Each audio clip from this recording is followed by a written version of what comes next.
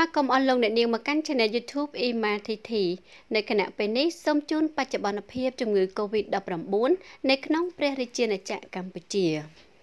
យ៉ាងតាមផេកផ្លូវការរបស់ក្រសួងសុខាភិបាលនៃព្រះរាជាណាចក្រកម្ពុជា បានបង្ហាញឲ្យដឹងថាថ្ងៃទី14ខែសីហាឆ្នាំ2020នេះមិនមានករណីវិជ្ជមានវីរុស COVID-19 ថ្មី និងមានអ្នកជាសះស្បើយចំនួន4នាក់ ក្រសួងសុខាភិបាលសូមគោរពជម្រាបជូនដល់សាធារណជនឲ្យបានជ្រាបពីស្ថានភាពជំងឺ Covid-19 នៅកម្ពុជា មានដូចខាងក្រោមមួយស្ថានភាពជំងឺ Covid-19 នៅទូទាំងប្រទេស គិតត្រឹមម៉ោង7ព្រឹកថ្ងៃទី15ខែសីហាឆ្នាំ2020ស្ថានភាពជំងឺ Covid-19 នៅកម្ពុជា មានចំនួនអ្នកជាសះស្បើយសរុបទូទាំងប្រទេសចំនួន229អ្នកស្មើនឹង83.88%ធៀបនឹងចំនួនអ្នកមានវីរុស Covid-19 ទាំងអស់នៅក្នុងចំនួននេះគឺមានស្រី46នាក់និងបុរស183នាក់ អ្នកមានវីរុស COVID-19 មានចំនួនសរុប273នាក់ស្ត្រី54នាក់និងបុរស219នាក់អ្នកសម្រាប់ព្យាបាលនៅក្នុងមន្ទីរពេទ្យរដ្ឋនិងឯកជន មានចំនួនសរុប44នាក់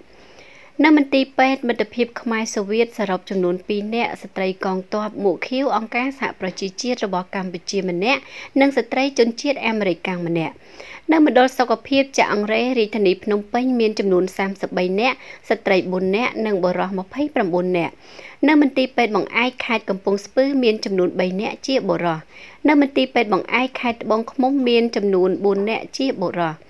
នៅមន្ទីរពេទ្យរ៉ូយ៉ាល់ភ្នំពេញមានចំនួន2នាក់ស្ត្រីជនជាតិអាសាស្តង់និងស្ត្រីជនជាតិកាណាដាដែលបានបដូរមកពីមន្ទីរពេទ្យមិត្តភាពខ្មែរសូវៀត ពីករណីអ្នកជាសះស្បើយជាបរិសុទ្ធជនជាតិខ្មែរចំនួន4នាក់ បុរសអាយុ25ឆ្នាំមានអាស័យដ្ឋាននៅភូមិសឃុំធីយ៉ូស្រុកចំការលើខេត្តកំពង់ចាមនឹងធ្វើដំណើរពីប្រទេសរុស្ស៊ីដោយបន្តជើងហោះហើរទៅប្រទេសម៉ាឡេស៊ីមកដល់កម្ពុជានៅថ្ងៃទី19ខែកក្កដាឆ្នាំ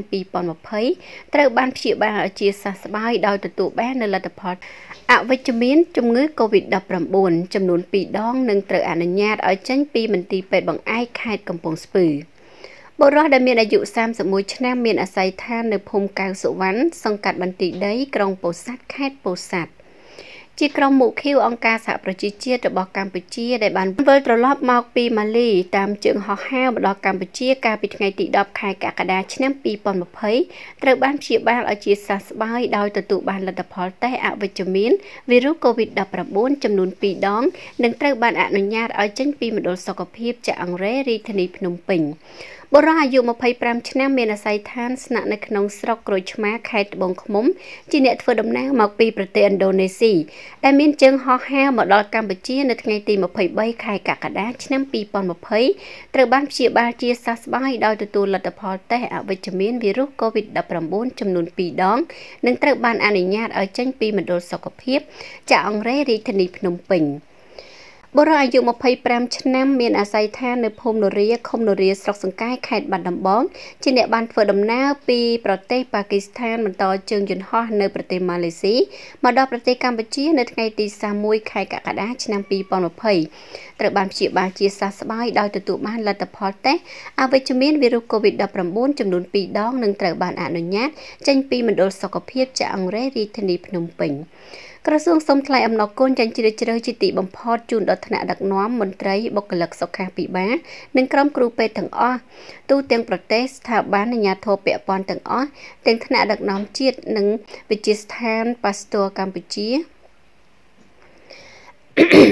ទាំងថ្នាក់ដឹកនាំជាតិថ្នាក់ក្រោមជាតិអង្គការសុខភាពពិភពលោកមណ្ឌលជាមណ្ឌលគ្រប់គ្រងនិងបង្ការជំងឺឆ្លងសារ៉ាត់អាមេរិកនិងជាស្ថានប៉ាស្ទ័រកម្ពុជា